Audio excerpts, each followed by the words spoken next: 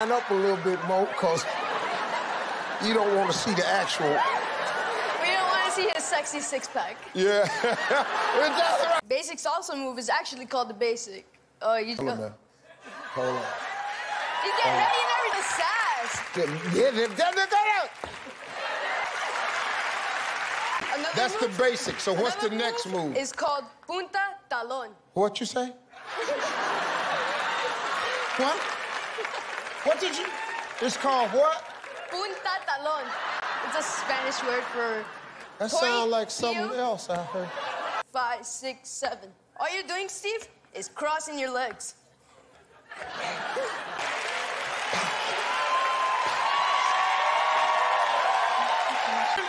Jonathan and Beverly from New Jersey. Nice to meet you. Nice to meet you.